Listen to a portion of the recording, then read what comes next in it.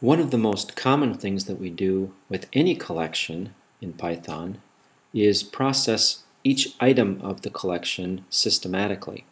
In other words, we somehow iterate through the collection. When we talk about lists or strings, we oftentimes talk about iterating through the sequence either by position or by item. But with dictionaries, it's a little different because there is no inherent order to the items.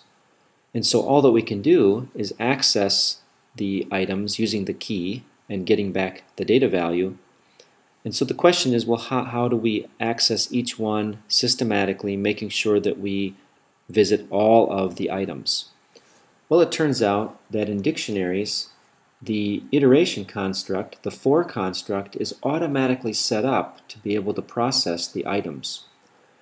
And so we can do what is referred to as iteration by key. The for statement can simply be used to say for every key in the dictionary. Now, there's nothing special about the name a key that could be any variable name we wish. But because temps is a dictionary, the way the for statement interprets this now is to say, for every occurrence of a key that is present in the dictionary temps, one iteration will occur. Now what we don't know is the order that those keys will appear. But what we do know is that the keys will all be processed one at a time until they're all complete. And so, for example, if we were simply to say, let's print the value of the variable a key, then what this is going to do is simply provide a very fast way to print out all of the keys in the dictionary. Again, remember, we don't necessarily know the order that those keys are going to be printed, but what we can guarantee is that for every item of the dictionary, this for construct will visit each key and therefore print the key values um, one at a time. Now if we wanted to print out the associated data values for those keys, we could do the similar iteration, but this time we could print out the value of the temps dictionary indexed by that particular key. So remember, if a key is a variable, taking on each value of the key of the dictionary one at a time, then this print statement is guaranteed to eventually print all of the associated data values for every key. And again, we can see that every value shows up. So a typical thing to do might be to print out a table of the keys and the associated values.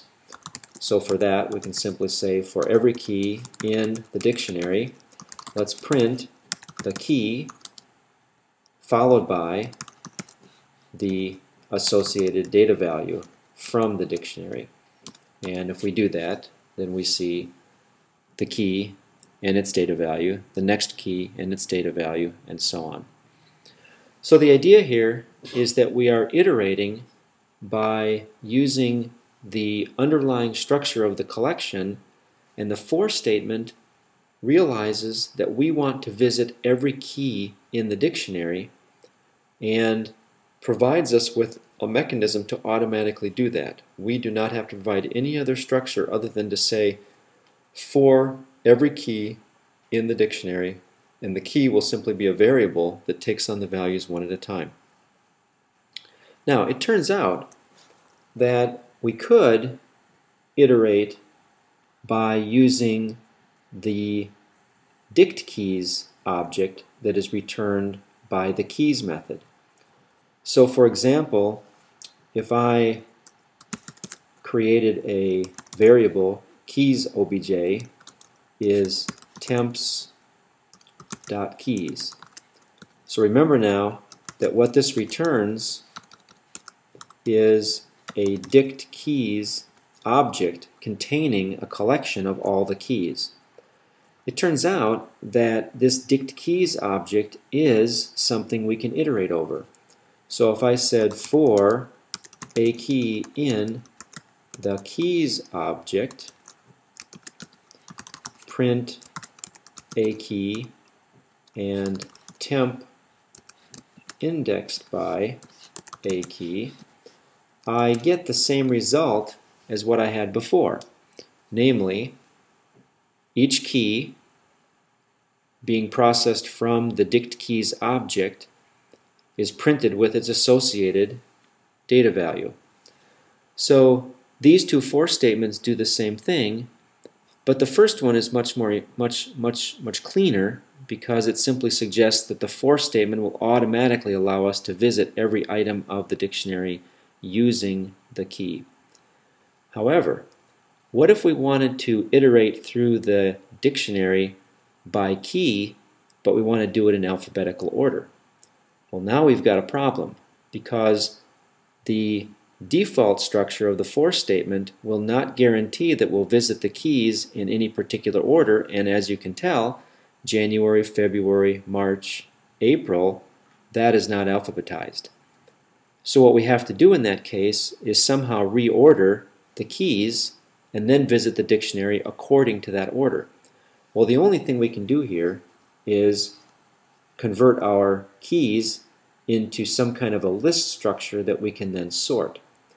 So now, if we take our keys object, which is a dict keys object, and convert it into a list, keys list is the list function working on the keys object.